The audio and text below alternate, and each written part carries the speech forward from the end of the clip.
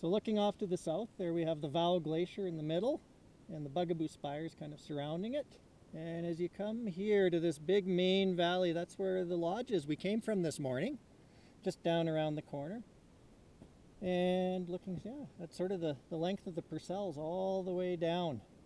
Um, and then that actually all feeds down just into the main Columbia Valley here.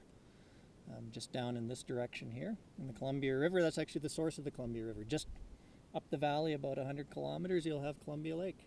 Hmm.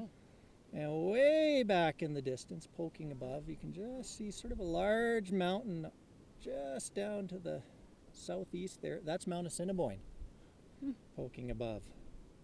It's heading to the clouds. Yeah.